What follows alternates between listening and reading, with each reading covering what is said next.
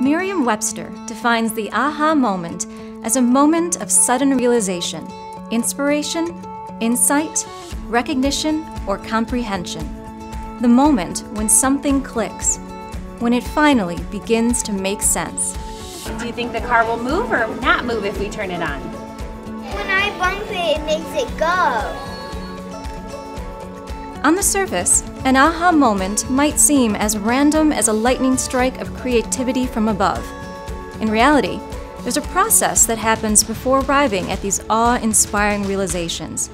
It unfolds gradually, at a different pace for everyone.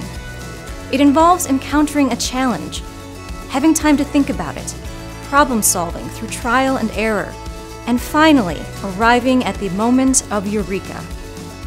The museum is a unique environment intentionally designed with rich opportunities to explore, discover, create, think, play, and learn.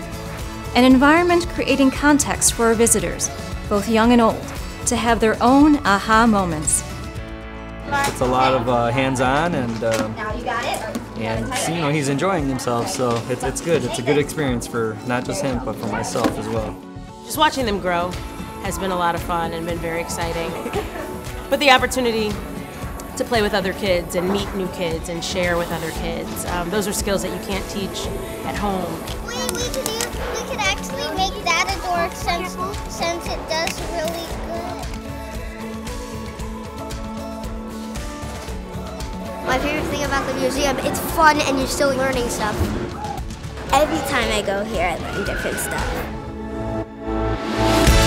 For 30 years, DuPage Children's Museum has been inspiring ahas, encouraging epiphanies, enabling insights, provoking problem solving, and cultivating confidence.